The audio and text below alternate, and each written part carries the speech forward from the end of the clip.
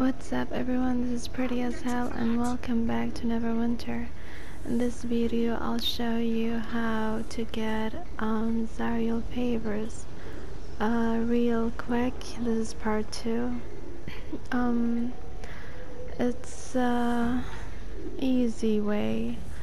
Uh, you either ask for a hunt that you help people to hunt with them just for Zariel favors and on each uh, boss that you hunt or an enemy you get 200 Zariel.